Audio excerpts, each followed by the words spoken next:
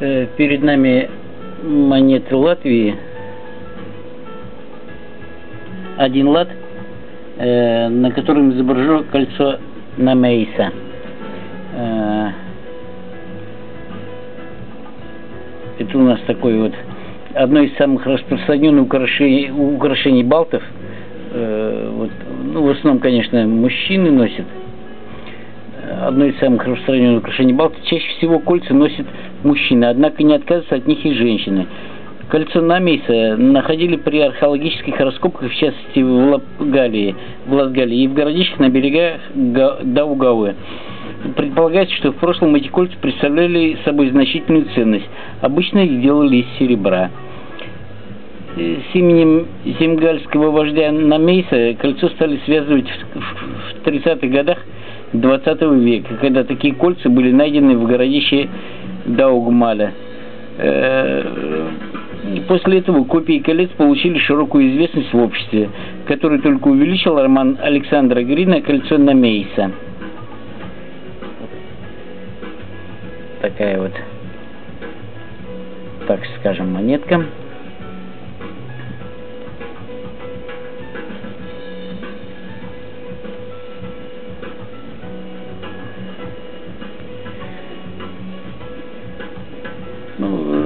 Сделано, значит, медно-никелевый сплав, покрытый мельхиором. Год выпуска 2009 э, год, номинал 1 лат, э, тираж 1 миллион штук, качество пруф, вес 4,8 грамма, диаметр 21,75 миллиметра. Художник, значит, Ильзе Либете, а изготовление матрицы Байба Шимя. Ну вот монетный двор, где его, где ее выпустили, штат Лише Мюнзе, Берлин. Вот такой вот монетный двор. Если с этой стороны повернуть, значит, большой латвийский герб. Сверху написано, значит, Латвия Республика.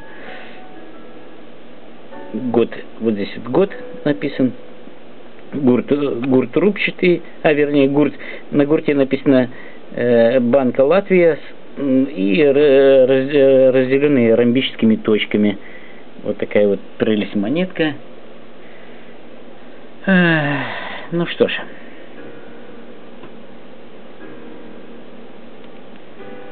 По монете, пожалуй, наверное, все.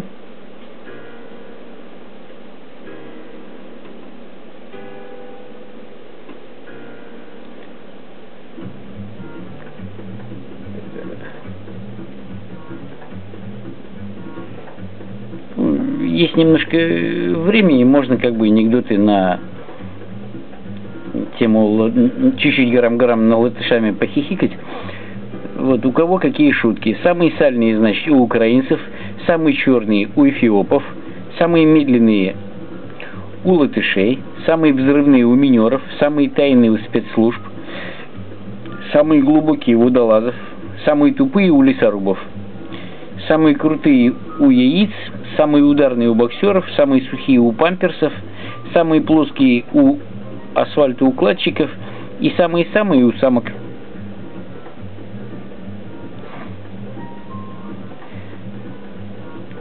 Стоят, значит, на посту два горячих латвийских гаишника. Старшему, значит, приспичило. Я пойду отолью, тут только пока по карауль. Отходит в кусты, младший, значит, с радаром целится в машины, мимо пролетает иномарка на бешеной скорости, младший, увидев показания радара, кричит «Он превысил скорость, что делать?» «Ну что же ты стоишь, стреляй!» Значит, выстрелил такие бах-бах-бах-бах-бах. «Не в меня стреляй, по колесам стреляй!» Опять бах-бах-бах-бах-бах. «Нет, не по нашим колесам!»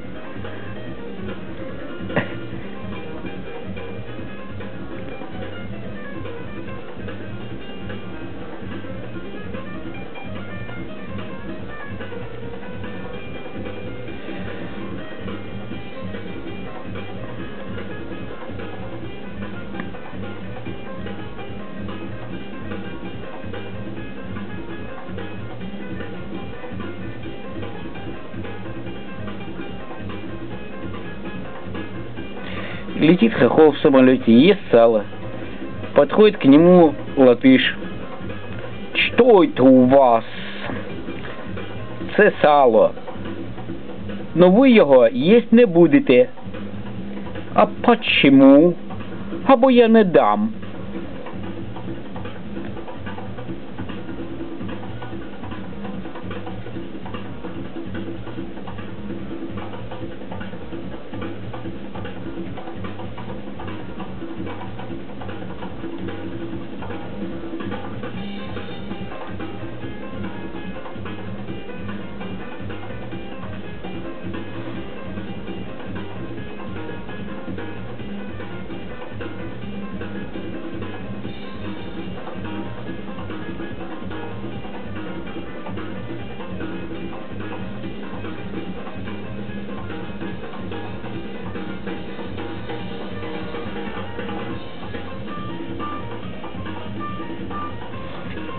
Один, значит, мужик прогуливается по набережной, слышит крик о помощи.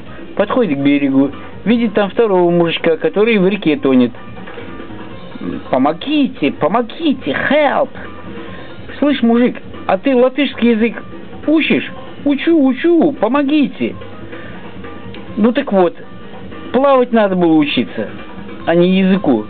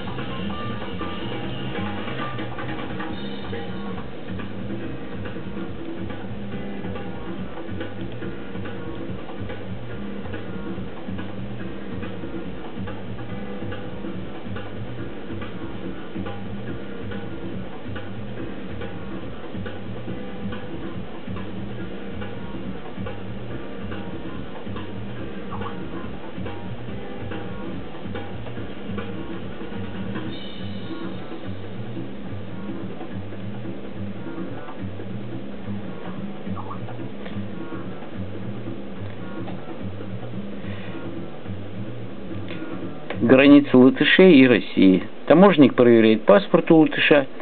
Уважаемый, а у вас паспорт без даты? Да, да, у меня пистатый паспорт.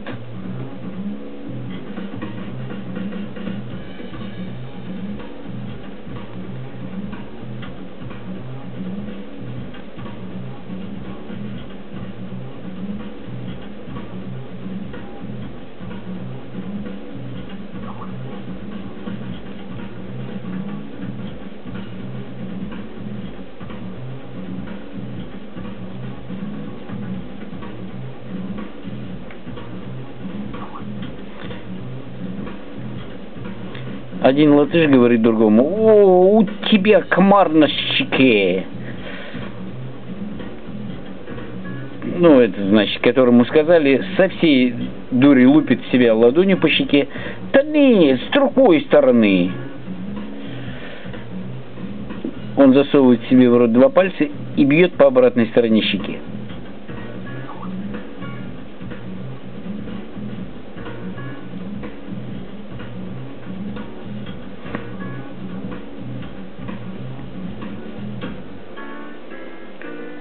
Ну и, кстати, вот латышские ученые недавно совсем изобрели колесо.